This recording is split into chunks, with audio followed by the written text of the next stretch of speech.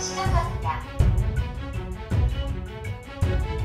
안녕하세요 여러분 오날도입니다. 로보락이 스마트홈 표준인 Matter를 지원하기 시작했는데요. 이번 영상에서는 로보락 S9 MaxV Slim의 기능도 살펴보고 스마트홈 장치들과 어떤 시너지 효과를 낼 수 있게 됐는지 로보락을 다양한 플랫폼에 연결하려면 어떻게 해야 하는지 살펴보도록 하겠습니다. 먼저 로보락 S9 MaxV Slim의 주요 기능을 하나씩 살펴볼 건데요. S9 MaxV 시리즈는 로보락 로봇 청소기 모델 중에서 가장 높이가 낮은 7.98cm의 초슬림 본체를 가지고 있습니다. 그래서 가구 아래까지 청소하기가 좋은데요. 저는 이케아 싱크대를 사용 중인데 싱크대 아래쪽까지 들어가서 청소를 잘 하더라고요. 흡입력은 무려 2만 파스칼인데 로봇 청소기 중에서는 최고 사양의 성능이라고 볼 수 있고요. 메인 브러쉬가 두 개로 되어 있고 사이드 브러쉬도 일반적인 모양하고 달라서 긴 머리카락이나 강아지 털이 엉키지 않더라고요. 그리고 청소를 할 때 바닥 재질에 따라서 흡입력의 세기도 달라지는데 러그를 청소할 때는 흡입력을 높이고 물 걸레를 더 위로 올리는 메뉴도 있더라고요. 그리고 저희 집은 강아지 털이 막 구석구석에 숨어 있는데 모서리를 청소할 때 사이드 브러쉬랑 물걸레가 이렇게 튀어나와서 청소하는 것도 너무 좋았습니다. 자, 이번에는 완전 자동 도크 시스템을 하나씩 살펴볼게요. 진공 청소만 단독으로 실행하면 자동으로 이렇게 물걸레를 놓고 나오기도 하고요. 물걸레는 80도로 고온 세척을 하고 55도로 열풍 건조를 해서 쾌적한 상태를 유지합니다. 80도의 온수로 도크를 셀프 세척도 하고요. 세척 트레이도 이렇게 쉽게 분리되기 때문에 유지 관리하기에도 좋았습니다. 그리고 세제를 이곳에 넣어두면 물걸레를 세척할 때 자동으로 세제를 투입합니다. 제가 사용하던 로보락 청소기는 직배수 모델이 아니었거든요. 그런데 이번에 장을 새로 짜면서 직배수 모델을 설치했는데 확실히 엄청나게 편리합니다. 설치가 가능한 환경이면 무조건 직배수 모델로 선택을 하세요. 자 이제 Matter에 대한 이야기를 해볼게요. Matter는 스마트홈의 표준인데요. Matter를 지원하면 다양한 스마트홈 플랫폼에 장치를 등록할 수 있게 되는데 로보락이 Matter를 지원하는 순간 애플 HomeKit이나 삼성 스마트싱스, 구글홈, 아카라, Home Assistant 같은 스마트홈 통합 플랫폼에 청소기를 쉽게 등록할 수 있게 된 거죠. 기존의 로보락 청소기는 단축어를 통해서 시리로 음성 명령은 할 수 있었죠. 그런데 이제 Matter를 이용해서 애플 HomeKit에 등록을 하면 청소기의 상태도 볼 수 있고요. 내가 가지고 있는 다양한 스마트홈 장치들과 연계해서 자동화도 만들 수 있게 됩니다. 자 그러면 이제 로보락 청소기를 다른 스마트홈 장치들과 어떤 방식으로 자동화를 만들 수 있는지 몇 가지를 보여드릴게요. 자, 첫 번째는 카메라의 제스처를 활용하는 겁니다. 그러니까 여러 가지 제스처를 이용해서 청소기를 작동시킬 수가 있는데요. 음성 명령을 할 수 없는 상황에서 제스처를 사용하면 앱을 열고 제어하는 것보다 더 빠르고 쉽게 청소를 시작할 수 있습니다. 그러니까 여러 가지 제스처를 이용해서 청소기를 복귀시키거나 모드를 변경하는 것도 가능하죠. 두 번째는 스마트 스위치를 활용하는 건데요. 벽에 있는 스위치를 눌러서 로보락 청소기를 작동시킬 수가 있습니다. 이렇게 스위치를 누르면 청소기가 작동을 하는데 지나가면서 그냥 딸깍 한 번으로 청소를 시작할 수 있는 거죠. 조금 더 개인적으로 사용하길 원한다면 방에 있는 스위치를 눌렀을 때는 내 방만 청소하게 자동화를 만들 수도 있습니다. 세 번째는 무선 버튼입니다. 내가 자주 머무는 공간에 이 무선 스마트 버튼을 놓고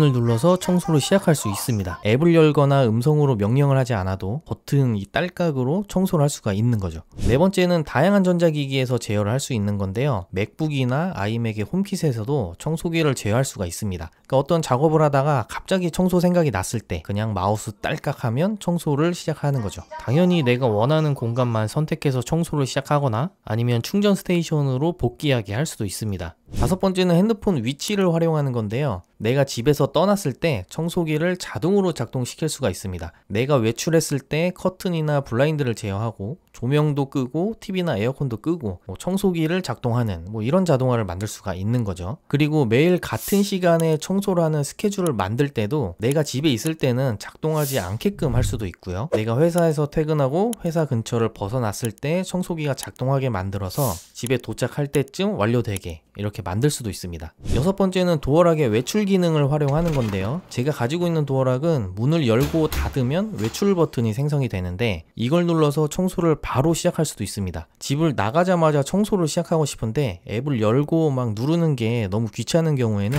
이런 기능을 활용하면 좋겠죠. 문 닫고 딸깍. 자, 일곱 번째는 조명과 연동하는 겁니다. 아직 문을 설치하지 못했는데 이 안에 조명을 설치해놨거든요. 그러니까 문을 열면 조명이 켜지고 청소기가 작동할 때 조명이 꺼지는 뭐 이런 자동화를 만들 거고 자동문 개폐 시스템도 만들 건데요. 부품들이 아직 도착을 안 했어요. 이건 부품들이 도착하면 그때 따로 영상을 제작해서 보여드릴게요. 자, 여기까지 자동화 예시를 보여드렸는데 로보락이 Matter를 지원하게 되면서 이런 것들이 가능하게 된 겁니다. 자, 그러면 로보락 청소기를 어떻게 Matter로 연결을 해야 될까요? 그러니까 로보락 앱에 청소기를 먼저 등록하고 장치 설정에 가보면 Matter 네트워크 연결이라는 메뉴가 있습니다. 여기에 들어가면 Matter 코드를 받을 수가 있는데요. 이 코드를 내가 원하는 플랫폼에 장치를 추가할 때 사용하시면 됩니다. Matter를 이용해서 스마트홈 플랫폼에 연결하기 위해서는 Matter 컨트롤러라는 게 필요한데요. 하나쯤은 가지고 있을 법한 장치들이라서 엄청난 진입 장벽으로 느껴지지는 않을 거예요. 자, 스마트싱스, 애플 HomeKit, 구글홈, 아카라 앱을 비교해 볼 건데 모두 다 이제 청소기로 등록이 됐고요. 메뉴는 플랫폼에 따라서 구현된 게 조금씩 다릅니다. 아카라는 배터리도 표시해주고 간단한 명령 아이콘도 있습니다. 그리고 현재 상태도 확인할 수 있고 실행 모드에서도 청소를 시킬 수 있고요. 청소 모드도 어떻게 할 건지 선택할 수 있습니다. Apple HomeKit은 메뉴가 정말 직관적으로 구성이 되어 있는데 재생 버튼을 눌러서 바로 청소도 가능하고 진공 청소랑 물걸레 청소 아니면 둘 다 이렇게 빠르게 선택이 가능하게 되어 있습니다. 그리고 제가 테스트해본 플랫폼 중에서 유일하게 방을 선택해 가지고 청소를 할 수도 있습니다. 어, 여기 왼쪽 하단에 있는 아이콘은 진공 청소의 강도를 설정하는 건데 이건 청소기가 작동해야 활성화가 됩니다. 자, Google Home도 HomeKit하고 구성이 비슷한데 실행 모드랑 청소 모드가 이렇게 숫자로 되어 있어요. 뭐 다른 플랫폼에 비해서 신경을 좀 덜 쓴 느낌. 마지막으로 SmartThings는 뭐 별다른 특징은 따로 없고 실행 모드랑 청소 모드는 정상적으로 잘 나옵니다. 어, 그리고 자동화에 사용할 수 있는 조건이 궁금하신 분들은 어, 화면 참고하시면 되겠습니다. 자, 이렇게 오늘은 로보락의 S9 맥스 V 슬림을 살펴보고 Matter를 이용해서 다양한 플랫폼에 연결도 해보고 다른 스마트홈 장치들과 같이 작동하는 다양한 자동화도 소개해드렸습니다. 청소기 자체의 기능도 뛰어나지만 Matter를 지원하면서 확장성도 확보했기 때문에 더 매력적인 브랜드가 되지 않았나 하는 생각이 드네요. 오늘 영상은 여기까지고요. 저는 다른 영상으로 다시 찾아오도록 하겠습니다. 시청해주셔서 감사합니다.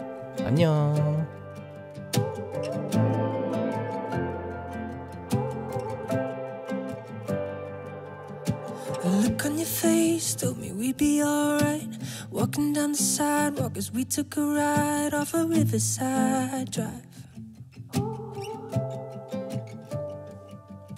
Wasn't something you said